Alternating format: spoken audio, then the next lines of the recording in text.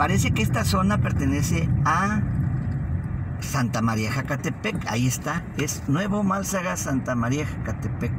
Entonces estamos hablando de que este camino tiene poblados de Tustepec, que es Reforma, Chiltepec, que es Pueblo Viejo, este Nuevo Málzaga, Jacatepec y vamos a Yocintepec.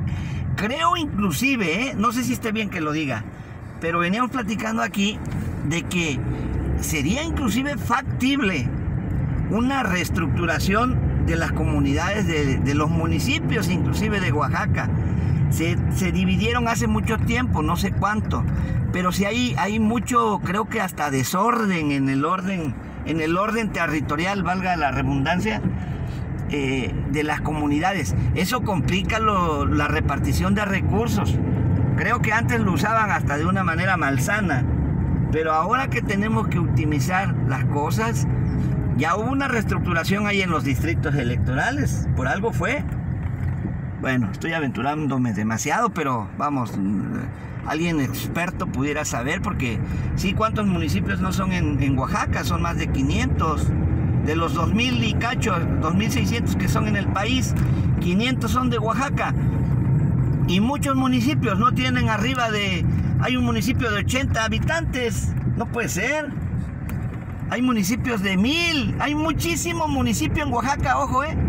Ojo, ahí, ahí voy a compartir el, escrito. Mucho municipio en Oaxaca de, de mil habitantes, de dos mil, de tres mil. Y estamos hablando que Lomalta tiene tres mil gentes. San Bartolo, que tiene más de diez mil, parece.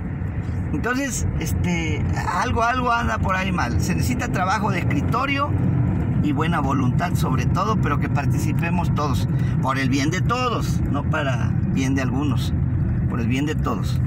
Vamos a seguir. desafortunadamente no podemos, vamos en la carretera, no podemos ver el río.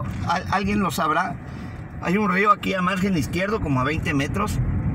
Hagan en cuenta como el Papaloapan de Tustepec. En esta comunidad que se llama José Mano Marqués. Hasta ahorita, fíjense. Mano Marqués, me acuerdo que decían de Mano Marqués. Y a mano izquierda hay un río. Entonces vamos a seguir. Sabemos de que nos exponemos a muchas críticas, amigo, con este tipo de, comentarios y de pláticas en, usando las redes sociales en este proyecto, se llama Revista Intelligere.